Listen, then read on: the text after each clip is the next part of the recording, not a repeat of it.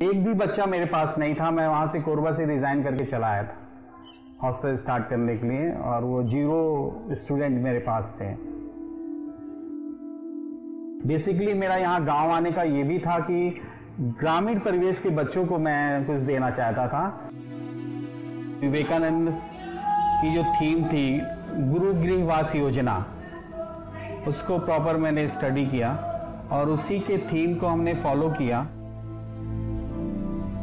पहली चीज़ जो हम नोटिस कर सकते हैं यहाँ पे आके वो ये है कि ये बड़ी सुकून भरी जगह है।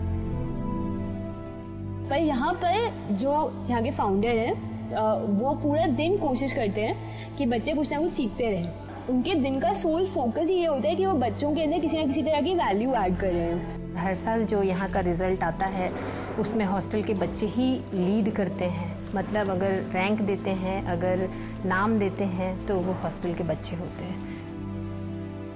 तो मैं उम्मीद करता हूँ कि हम शायद एक एक इंटरेस्टिंग मज़ेदार चार्मिंग एक ऐसी व्यवस्था बना पाएँगे जहाँ की हम सब इंजॉय करते हुए उस परम शक्ति का अनुभव करते हुए अपने इस पढ़ाई के कार्य को आगे बढ़ा सकें।